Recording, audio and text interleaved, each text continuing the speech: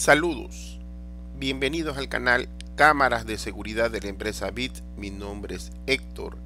En esta oportunidad vamos a compartir un video tutorial sobre el dispositivo HDMI Extender. ¿Cuál es el escenario? Tenemos que instalar en la vida real, en un centro de diálisis, un monitor que está a una distancia aproximadamente de 50 metros. Con el cable HDMI tradicional pasivo, la diferencia entre pasivo y activo es que el activo viene con dos, viene con energía. En este caso viene con los chanchitos o los conectores que utilizamos normalmente en los celulares. Entonces, nosotros vamos a necesitar pasar un cable largo que no soporta ni haciendo unión, máximo con un cable HDMI son 20 o 25 metros y no me va a llegar porque la distancia es superior. Entonces eh, adquirimos lo que es HDMI Extender. En la cajita del HDMI Extender vienen dos dispositivos que vienen con energía. Hay que comprar aparte, hay que adquirir porque no viene en la caja los, los convertidores, los mismos que utilizan en los celulares, para poderlo hacer funcionar. Entonces tenemos HDMI de 60 metros, un extender. Fíjense que dice recibe y dice transmisión. Y viene con dos cables HDMI pequeños.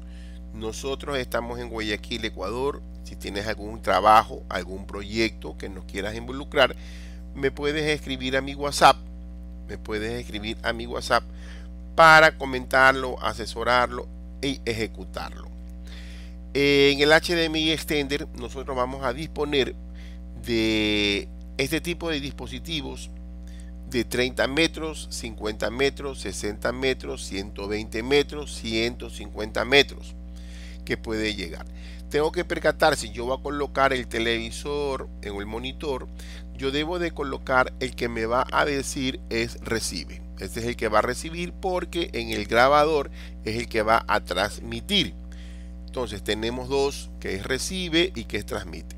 Recibe es aquel que va a recibir la señal, en este caso es el televisor o el monitor, y transmite es el que va a, vamos a poner del grado, del lado del NBR o el DBR. Este es un HDMI de 60 metros, lo pusimos a 45 metros y funcionó muy bien, no tuvo ningún tipo de inconveniente. Como les comenté, no viene el cable el cable para darle energía de ambos lados va la energía tanto en el transmisor como en el receptor. Vamos a necesitar es un vamos a necesitar una fuente de alimentación.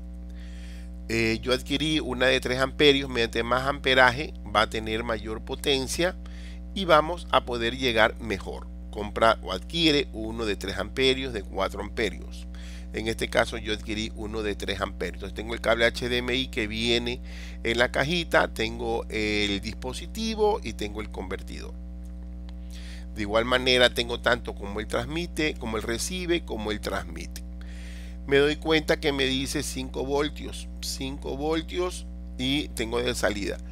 Eh, normalmente este tipo de, de fuentes son de 9 voltios.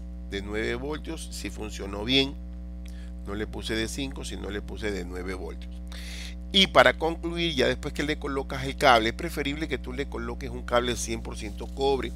En este caso, yo los 40 metros le puse un HE UTP 5E 100% cobre de la marca Nitrotel. Puede ser cualquier marca, pero lo importante. Lo que sí tienes que percatarte que cuando haga ya el enlace, cuando ya haya comunicación entre los dos, se te va a encender un foquito de color celeste significa que hay comunicación. Si no se te enciende, no existe. Y aquí vamos a tener el foquito. El foquito que es para poderlo, es que te va a indicar que está encendido. Puedes colocarlo de 5E o categoría 6. Espero que te haya gustado este pequeño video tutorial.